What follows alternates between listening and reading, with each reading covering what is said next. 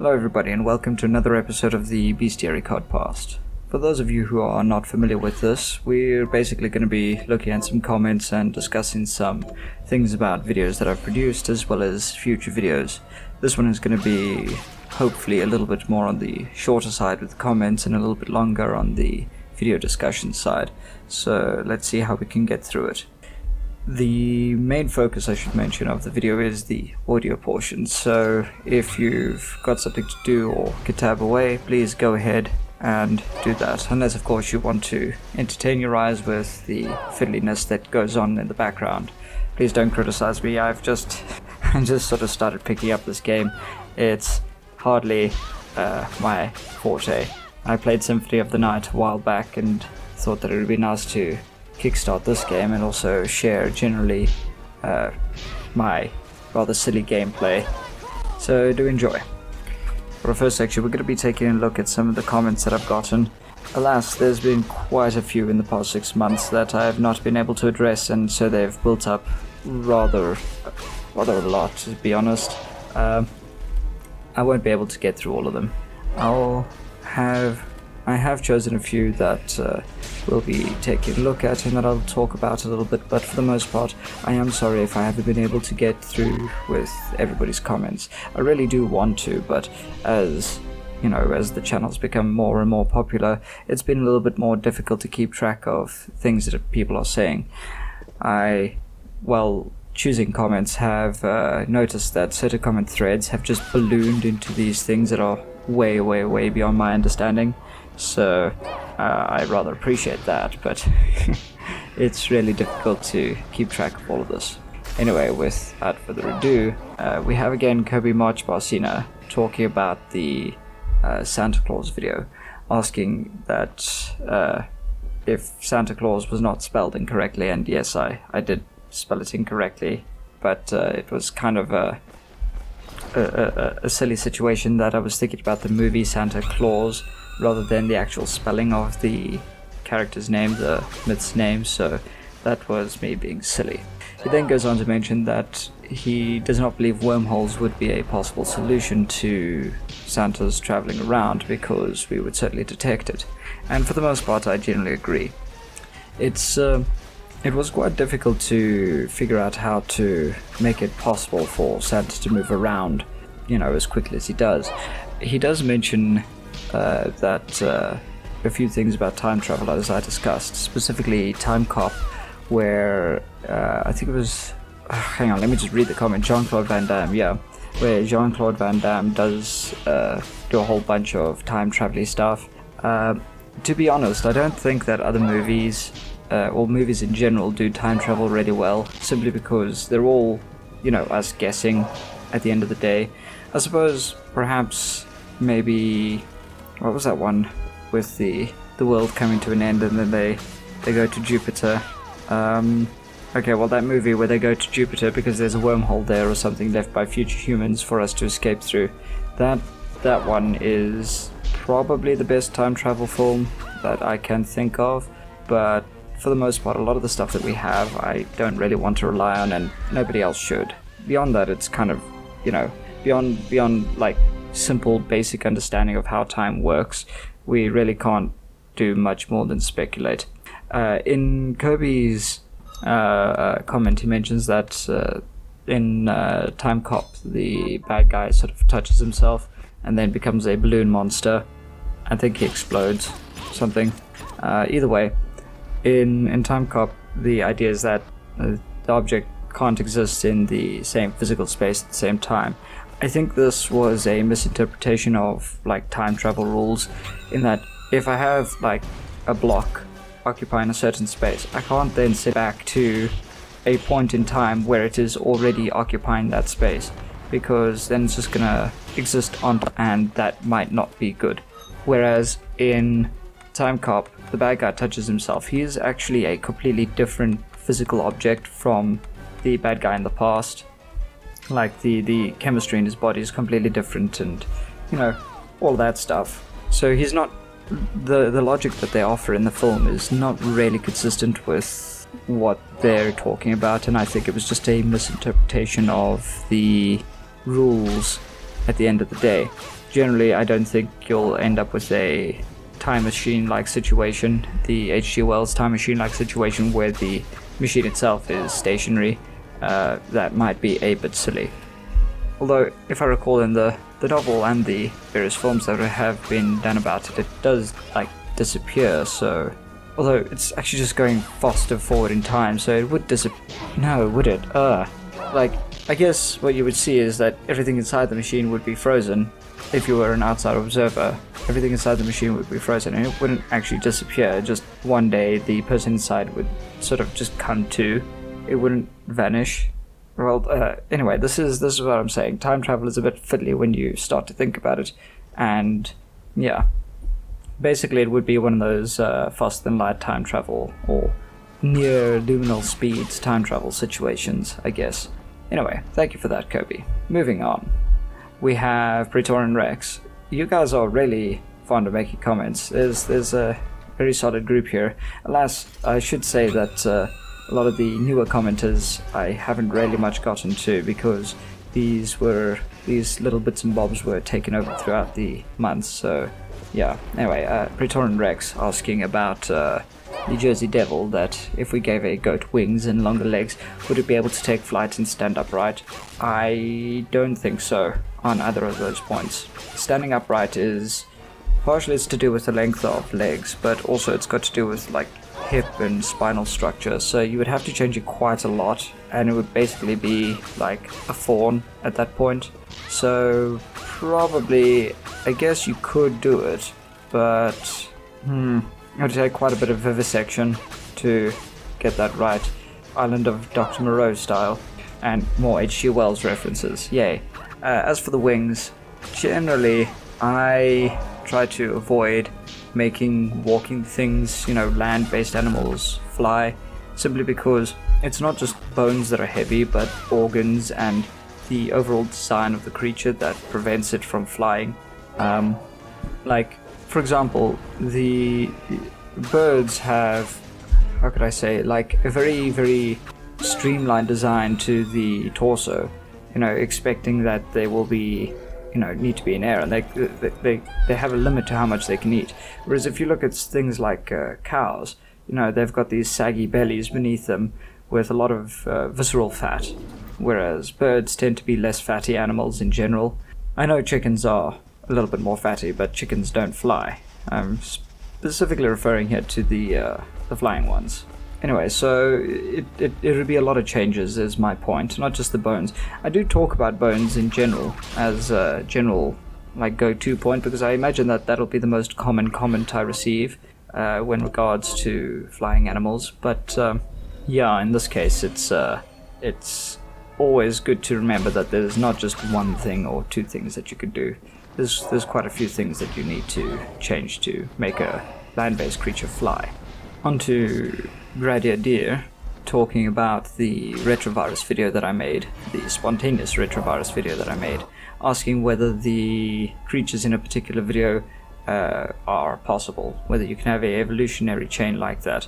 In this video, he's talking specifically about the uh, the, the the chompy worm monsters in the recent King Kong films.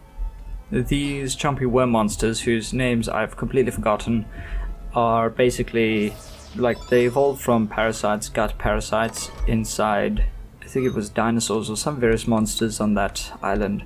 And through some process of evolution, they have become external and live in a sort of swampy area. And in general, I think that this is actually very plausible. It's not really outside the realm of possibility that a worm, a parasitic worm, could evolve into a more independent creature. It would be very difficult, but you know, because where one of the problems with evolution, uh, in in any regard, is that once a creature finds an optimal range wherein it can survive, unless that range is somehow immediately destroyed, it's difficult to hop to another optimal range. There is a name for this theory, and I will probably put it up on the screen right now. But basically, it's often visualized as uh, basically a plane with like 3D hills or 3D mounds for creatures to ascend. Once a creature creature's ascended a particular mound, to get to a completely different mound, it has to descend uh, this is obviously not something that the creature wants to do, uh, descending that is, and so it usually gets stuck in a certain evolutionary path. In the case of the parasite, I imagine it's a very similar situation, barring, of course, random mutations that might cause it to suddenly hop from one path to another, or make it viable for it to hop from one path to another. But generally, yeah, this is certainly possible. Next, we have Damon Wielden talking about the hippogriff, and he's asking a little bit about how its uh, myth came about. Uh, this is obviously in reference to the Griffin video. Uh, he had only encountered it in the Harry Potter films and books, and wondered a little bit more about them. The hippogriffs, I was also quite surprised to discover, were not just a modern fantasy thing made up for modern fantasy stuff. I thought that they came about as a result of uh, tabletop role playing games, especially as we had seen them in games like uh, Warcraft and, you know, other things like that with uh, computer based stuff. On the whole, hippogriffs actually are quite uh, quite interesting. And I should say that for the most part, their reification and their myths and legends follow a similar path to the Griffin, so I won't really be putting them very high on my list of things to do. But um, it's it's interesting to see how a lot of the fantasy that we think is modern is nevertheless actually quite old. And uh, yeah, life is life, eh? And myths are myth. After that, we have Great Kobe again talking about the retrovirus, uh, discussing in a little bit more detail as to how the retrovirus can alter cells and make various mythical creatures come about. And it's is particularly with the creatures that I mentioned, such as uh, werewolves, vampires, and zombies. It he, he does mention that uh, switching genes on and off inside the body does cause problems and I think he rather well understands what it was that I was on about in the video. That we can alter genes within various animals, but it's difficult to say what those alterations will uh, result in, and also how this plays out over time. If you want a really good book to read discussing all of this stuff, I highly recommend uh, Jurassic Park by Michael Crichton. Now, I know what you're thinking. You're probably thinking, oh, I can just watch the film. And while the film is actually very good and, you know, a part of many of our childhoods, I recommend the book specifically because it's very, very. Hmm. It's it's almost the exact opposite of the film. Both film and novel are equally brilliant, I should say, and I recommend them in both regards. But you're learning a completely different set, and the discussion is completely different regarding the topics presented in the book.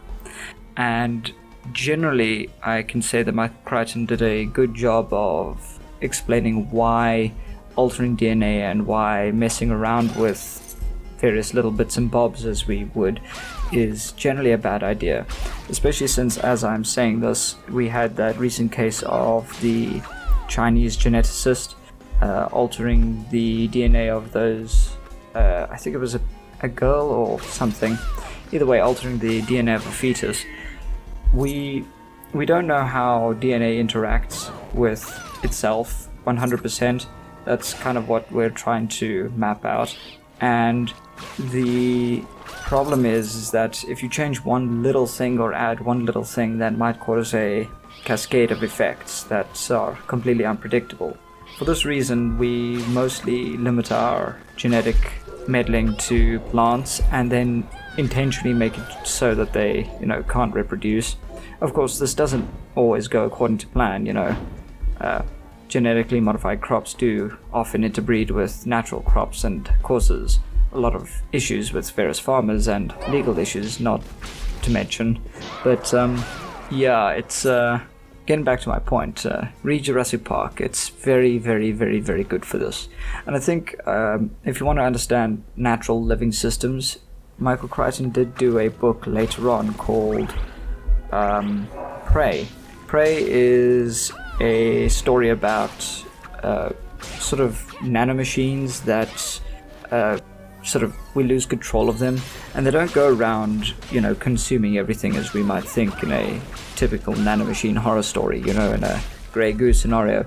Instead, they begin behaving like animals, and understanding how simple systems, like how simple rule sets can ultimately produce unpredictable behavior, is the main story idea within Prey. So those two Michael Crichton books I highly recommend to anybody who's interested in any of these things. Also, mostly, you know, it's fun to explore scientific ideas with a nice paint of science fiction novel. Next, we have Christian Andersen saying that uh, he believes behemoths did exist once in the long lost part of time. And, you know, possibly they did. It depends on how you define behemoths, and in fact, we could say this for most mythical creatures. Depending on how you define them, and depending on what you think the creature is, they very possibly do exist in the fossil record. We could say something like uh, Diplodocus or a brontosaur or what have you is the exact equivalent of a uh, behemoth, or you know, uh, we could have the ancient pterosaurs being the inspiration for Ziz, or etc., etc., etc. So again, we're we're we're looking really at what is possible right now with the world and the environment and the food chain being what it is. So that I should say is one of the limiting factors for a lot of my videos that I'm also trying to think of now, not just in the long past. The long past does give us a chance to see what is physically possible on Earth, but um, that doesn't necessarily mean that things are possible now. A good example to use is that of giant insects. During the Carboniferous period, we had a huge amount of oxygen in the atmosphere, meaning that insects with their silly, silly spiracles could grow to really large sizes. But these days, with those same, with those same breathing apparatus, my tongue is tripping over itself. With those same breathing apparatus, they really are quite limited in size. So think of it like that. What was possible in the past is not necessarily possible now. Marcus Williams, talking about my Riverside stories, the Seed of the King, says that the king sounds like his uncle, to which I reply, my my poor boy, or poor man, or girl, or woman. Uh, oh dear. the king was meant to be a sort of an allegory for arrogance and uh, all of those various negative emotions, so I'm sorry that you have to live with a person like that. But uh, you never know. Things might get better. He might get trapped by his own tree. After that, we have High Jekyll, uh, speaking on the bestiary werewolf video, saying that they can't stand when people say that scientists' word is law. And I generally don't like that kind of thinking either. In this case, High Jekyll is trying to say that I often invoke what researchers and uh, various discovery people have laid out before us for us to learn about the natural world around us, and that if we take everything that they say at face value as the limits of what is possible, it tends to be quite limiting and frustrating. Again, I do agree with this uh, complaint, but at the end of the day, if we're going to be delving into speculative, bi- speculative biology, sorry, my tongue once again, if we're going to be delving into all of these things, we need to have some kind of basis off of which to work. And, you know, we could talk about various possibilities without any kind of grounding in reality until the cows come home, which is at about 7 p.m. as I discovered.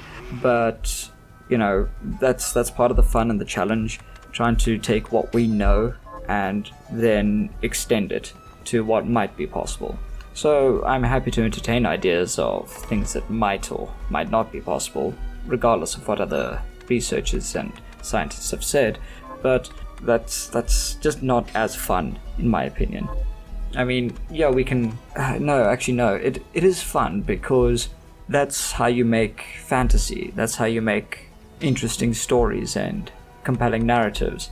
But for the purposes of these videos, the challenge comes in trying to reconcile what we do know to be true, or at least, uh, okay, let's speak philosophically accurately here. What we do know to appear to be possible is what we are trying to reconcile the myths with. And I've said this on multiple occasions, and I know that not everybody gets a chance to hear these things, so I guess it just bears repeating. After that, we have Great Sir Kirby again talking about the Santa Claus video and specifically to my references of the Hogfather in that. Um, the Hogfather is actually a very interesting story. I generally like Terry Pratchett's writing. He's an interesting philosopher. I almost exclusively read his books for those those moments right at the end where he communicates something complicated and profound in such a simple manner. It really drives home how important stories are to communication in general. In this case, the reason why things are about blood is that Christmas as a tradition starts probably because of a midwinter feast where there's slaughter of animals to help you go through the remainder of the winter, uh, mainly because a lot of the plants and whatnot that you've eaten are, uh, you know, they've decayed and they've been consumed and there's not much more left. And there's possibilities of rituals to try and make the winter go away and uh, basically think of um, the theories around Stonehenge and the uh, related area, the wood, the wooden area. I can't remember what it's called. Where basically you have a whole bunch of people gathered together having a large party and they're slaughtering animals and this slaughter is the the idea. The slaughter and the feast is kind of the origin concept of Christmas, and therefore, sooner or later, are about blood. I'm doing a very poor job of explaining this idea, but do give the novel a read. It's it's very interesting. It's very good. I think there was a film made about it. Maybe I don't. I can't vouch as to how good the film is, but maybe it will communicate the idea well enough. Next, we have Kerry White's Strange World, uh, saying that if we hollowed out the lions and tiger bones of the griffin, for this is part of the griffin video, it would probably be able to fly and uh, fly without uh, and fly in a manner similar to what we find with prehistoric birds, etc. Uh, to which I say, yeah, probably. But again, my, my point with the uh, Jersey Devil comes back. It's not just the bones that we have to hollow out, it's large portions of the creature that we have to change. And while this is a lot of fun talking about the speculative biology, it is at the end of the day speculation and I don't have enough hours in the day to go over all the details. But I do like these ideas that a lot of you guys come up with, so please do continue. Kerry White does go on to add about the witch that uh, there's multiple ways in which we could arrive at the same answer of moving energy around, saying that perhaps our current understanding of physics is just one interpretation and that there might be a whole bunch of others. To which I say, yes, again, I do agree with that point but the most advanced and most effective theories that we have are the ones that we discuss in the video. So yeah, that's that's kind of why I stuck to it. Again, my point isn't to argue what is possible and what is impossible. You know, full stop. It's it's to argue what is possible with what we currently know and what at least okay, not we currently know, what I currently know and i have access to. So that's uh that's the big limiting factor my my length and breadth of knowledge so take everything i say with a pinch of salt not only that just a hefty hefty lump of salt after that we have telchina basilisk writing on the ghost video. If i were to make a top 10 video what would it be about? I don't know. I'm not very much in the line of making top 10 videos. These things tend to be very sparse and not full of the detail that I like in the videos that I create. That said, however, there is a place for them, and I could probably see myself to making a top 10 video about, I don't know, odd creatures that have really, really niche roles within myth. For example, there's a lot of fairies that have one specific role within a lot of European folklore that doesn't often get discussed. I mean, we know about goblins, we know about uh, elves and all that, but you know, there's like wood and rock nymphs that have strange and specific names and specific duties that just get glanced over, and probably maybe a top 10 video about something like that, or maybe a top 10 video that covers a lot of the creatures that I can't go into details about, like the hippogriff, or uh, maybe even something like, uh, well, goblins, as I mentioned. Although, on that note of goblins, I have been getting a lot of requests to do goblins lately, and in fact, there's been one person who has made it his point in life to type on almost every other video, uh, in all caps, goblins, and followed by a large amount of exclamation points. So maybe I should entertain him. But again, it is a fairy, so I've kind of covered them already. I'm not sure what else I could add. After that, another comment on the seed by Kobe March Balsina. Wow, it's just you guys that I seem to be uh, this small group of people who I seem to be finding a lot of comments by. Uh, saying, great story, he only wishes that I had more illustrations. Yes. Um, for these videos, for these stories, I was using a friend of mine, uh, Ricardo V, to create some of the illustrations. I didn't give him a lot of time to do them as well. I sort of just did these stories at the spur of the moment. So, yeah, I didn't have much options when it came to illustrating them, but I will get more illustrations done for future story videos if the opportunity arises. Uh, right now, the artist is in England, so I don't think I can bother him right now for any of the story ideas that I have, but uh, hopefully I'll give him more time in the future to come up with something interesting. After that, Mark Torres and uh, Nicholas Lien Daja. I, I, think.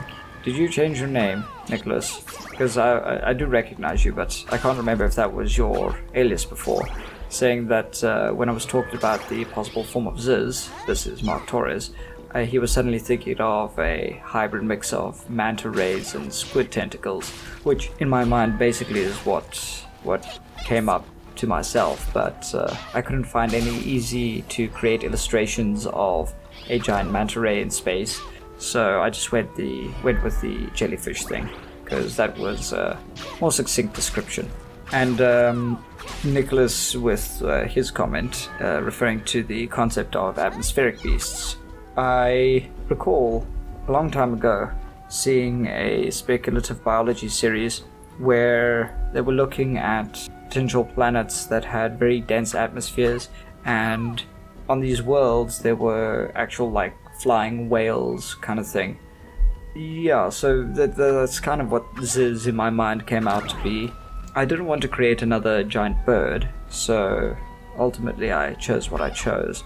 And uh, my inspiration was that those videos that I had seen before with the giant flying whales. So there you go. And over here we have Praetorian Rex asking if I could cover more movie creatures such as the Xenomorph, and that he'd love to hear my thoughts on it. Actually, I think I will do this, because I imagine that there is quite a bit of demand for this, and I've already received several questions about doing things on aliens. Now, whilst I don't personally classify aliens in the realm of myth, they're more of a, uh, how do I put it, like, it's more of a, uh, a statistical probability that has also had a lot of fiction created about it. You know, the the the, the stuff. So it's it's not quite the same, but I will discuss it at some point. I should say that anything that I talk about in the videos could basically be applied to aliens on faraway planets. So there you go. But I'll I'll definitely do some more cinematic monsters. After that, we have the aptly named Pokesaurus, saying that uh, Ziz has been shown in culture in the form of Pokemon. Uh, Rayquaza, Rayquaza, Rayquaza. It's been a while. Sorry, forgive me. Uh, I watched uh, Detective Pikachu the other day, and I was like, oh my gosh, there's so many Pokemon that I don't know anymore. Why? Why has this happened? And living here in Japan, I get to see all of these strange new Pokemon that have been dreamt up and kids are messing around with, and I just realized I'm so out of the loop with Pokemon these days. But yes, um, you are right, Pokesaurus. To be honest, I could have done a bit more research into a lot of the more niche culture things, and my memory for Pokemon failed me when considering the, uh, you know, the the Ziz creature. So yeah, um, though Nicholas uh, does go down to mention that this is based on something like uh, uh, the Rayquaza is based on uh, Chinese dragons and Quetzalcoatl and all of those things. So there you go. And finally, some more comments by Nicholas saying that the funny thing is that there is the uh, a titan in the Godzilla films called Behemoth, and there was another titan mentioned that was called Leviathan, but he doesn't know if there was one that was uh, one that was called Ziz, which I guess maybe there might be in the films, but it depends entirely on the creative direction that the film studio wants to go with that. Because at the end of the day, you know, it's it's their thing. Well, hopefully, we'll see Ziz. I should mention that it was very tempting to try to get some footage of the uh, recent Godzilla film, the Godzilla King of Monsters, because that was, whew, for Ziz, that would have been amazing to use some of those shots. Alas, as it is, I made the film before any official DVD publication came out, so it was not really in the cards for me to get uh, footage outside of uh, the trailers and whatnot. So, yeah, it's, uh, it's very, very interesting. Anyway, with that, we're done with our comments, and onto the videos that I've made. I'm going to try and get all of these done in a very short order, because there were quite a few that I've yet to actually make any kind of decent comment on. So, um, the last film, uh, not film, the last video that I made a, uh, that I failed to comment on was the retrovirus vid. That one was very spur of the moment, and in fact, I it, it, was made one day on a Thursday when I found myself with some extra time, and I thought, you know, let's just get on with it.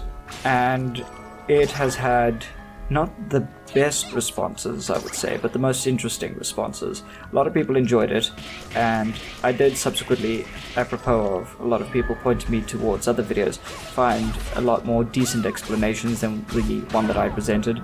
I did try to go into a lot more detail with the actual mechanics of cell biology than most other people had, but, and I guess well, not bad, but I guess for that reason I became a little bit discombobulated because it had been such a long time since I looked any of this up in my textbooks, and I was basically just, you know, shooting from the hip, as it were. But I do hope that it inspires a lot of you to actually look at these various things in more detail. Uh, so yeah, please do do go watch that video if you're listening to this. It was very fun to make, and it was a nice change of pace considering I could sit in front of the camera for a change rather than, you know, flopping about behind a microphone the whole time and staring at a black screen. After that, we had the Santa video, which it was interesting because I didn't want to use any typical explanation that we've had with uh, he's traveling faster than light or doing this and that that we've already heard well, you know, people really like fiddling with timings and schedules and whatnot to try and figure out how it works. And I thought, you know, let's just let's just make him a time traveler. Let's just do all of this. It could just be like some old guy in the far distant future paying for his sins. That would be very interesting. You know, it would be yeah, actually that would be a fun story just to explore the the this the strange Santa family that has to redeem themselves for something. And so he has to fly around using his time machine and give presents to every single living child for you know the duration of their childhood. And uh, yeah that'd be that'd be fun. But uh, yeah for the most part it was a very straightforward video and quite short. So i do hope that you guys enjoyed it. After that we had the two riverside stories. Uh, the title the riverside stuff is kind of apropos uh, I had some inspirations for that, but nothing that I could decently explain, just that's how it came out. These two stories were born after, how to say, a little bit of thinking on my part, and then one drunken morning, one hungover morning, having a chat with the artist whom I mentioned before, and just applying all of the rules about storytelling that I'd learned while doing research for the various videos, and just, you know, shooting this out there. So I thought everybody would enjoy these stories and enjoy the attempt at subtle didactics as what we uh, as what we find in um, older stories like Hansel and Gretel and that kind of thing. So yeah, if you guys want to see more stuff like that, I'm more than happy to make huge amount of them. I have quite a few ideas and I do have them on the backbone at the back burner. See, my tongue is just tripping over itself. I'm sorry, those of you listening with headphones that have to listen to me basically uh, licking my microphone, but uh, there you go. Anyway, I do have a lot of these on the back burner. I have a few ideas that are milling about in my head and that I'm experimenting with, but at the end of the day, hopefully these will be something worth reading. The difficult one was the snake and the mouse, because I couldn't decide whether it should be whether it should be fire or water that the mouse had to overcome with the snake, because each of these have like different affective meanings, and uh, it was it was a difficult story to decide on. I guess that's partly to you know that, that that partly shows just how unprepared I was for making these kinds of stories that I have to consciously think about it rather than just have a feeling for what is right to do. As a lot of the old stories tend to have. So mm, there you go. Finally, we had the Ziz video. Ziz was very difficult mostly because there's not a lot of information about Ziz. This is probably the most sparse creature that I've ever done. And I know that I often mention that creatures tend to be difficult when you're looking for information, but trying to aim for a 15 minute long video and falling short thereof by 5 minutes, which is kind of my acceptable range, I guess, is, and, and really stretching for that information, I should say, is quite, uh, hmm, quite disappointing and rather harrowing. So ultimately with Ziz, I found that I had to use a lot of indirect sources, like modern sources, discussing things about Ziz, because the original sources and original stories are just basically trying to complete the trinity of earth, water, air, as I mentioned in the video. And for that reason alone, Ziz is not the easiest thing to do. Also for his reification, I could have easily gone with another giant bird-like creature as I did for uh, the griffin and I think there was one more that doesn't come to mind right now. But at the end of the day I thought no no no no this would be cheating. I didn't want another repeat of what happened with the vampire and the zombie where I just said a virus. Instead I thought how else could we make a giant creature that is above us and I can't remember what it was. I think it must have been while messing about on Kerbal Space Program or something like that. I just thought, okay, let's let's put it in orbit. And then sort of the idea of the speculative biology video that I mentioned earlier came to the front of my mind and I thought, okay, wait, no, this is actually quite possible. One thing that I didn't mention was that the tentacles, the feeding filaments, the proboscis that uh, Ziz extends, would be undergoing a lot of strain. If Ziz is not in geosynchronous orbit, they'd basically be under a lot of tension, pulling them backwards, and like not not uh, not just like vertical tension, but like actual torsion, which I don't think uh, carbon nanofibers are really good at dealing with. So they would be snapping left, right, and center.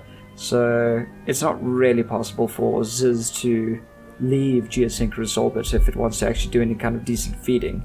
And it gets really, really weird with the additional drag that the tentacles would then exert on Ziz, lowering its orbit. So unless it had some kind of way of pushing itself back up into orbit, I'm not entirely sure like how it would work. Maybe if it could spurt some of the water that it had absorbed back towards Earth, it could probably raise its orbit again but then you'd have this situation of basically a lot of the water on Earth collecting in orbit around the planet, which would not be very good.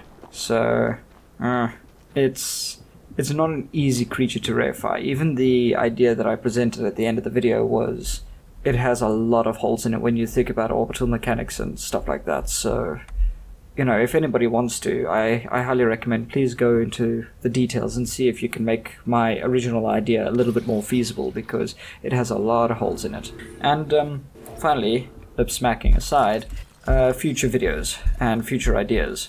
So I think sitting here doing this video, I will probably do the Goblin video as the next thing that I'm going to take on. I'm not entirely sure as to how I'm going to tackle it because, as I mentioned, Goblins are fairies, and I've already discussed fairies at length and how they would come about, but I guess if we were to go about maybe talking about them as some kind of like mm, reptilian thing that evolves eventually into a humanoid form, maybe that would work. I'm probably going to stick with that idea. Yeah, sorry if I spoiled the video for you here, but there you go. Maybe maybe I'll change it, but that's probably what it's going to be at the end of the day. So yeah, um, Also, there's a lot of goblin stuff on the internet these days apropos of that uh, that that anime that I keep hearing about. So I might take a look at that anime and see. What, uh, might use some clips from that, and there you go. That's that's probably what I'm gonna aim for next. After that, I'm considering allowing the people on the Patreon account to do voiceover work for excerpts. So if there's a passage from a particular book that I need read as a again as an excerpt as you might see in some of the other videos that I've done, I might just offer to the Patreon people to do those readings. So if you want to be part of that, you know, go to the Patreon account. I have to plug at some point because I don't know what else I'm doing with it. I'm trying to make sure that everybody over there gets happy, but it was just, as I said, made uh, as a result of me being heavily suggested and even kind of forced into doing it. But it does give me mm, a kind of pressure to do videos more often. So if you want to add to that pressure and drive me to another grave, please go ahead and throw throw money at this these these projects that way. I will say that if I do get enough money through that, I do have plans to actually make like story videos around a lot of the creatures that I've done here. I have ideas for things about the unicorn and um, vampires, and there was another one that I had thought of. I have it written down in my little notebook that uh, if I get enough money, I would definitely like to take a look at. But anyway, uh, I guess that's that for now. Thank you for listening, and sorry for a lot of my lip smacking. It has been a while since I've done one of these. It is just life. Enjoy your bus trip, person who told me about the bus trips, whose name I've forgotten presently, because again, it's been so blimming long. And, um, yes, have fun, guys. See you in the next video.